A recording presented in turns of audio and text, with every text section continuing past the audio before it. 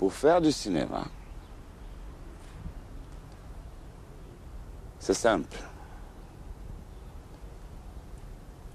Il faut fermer les yeux. Est-ce que vous avez fermé les yeux? Alors vous fermez les yeux.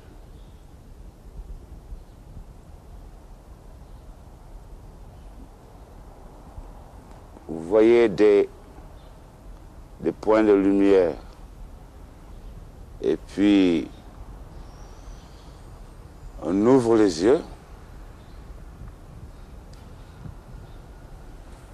On a une histoire.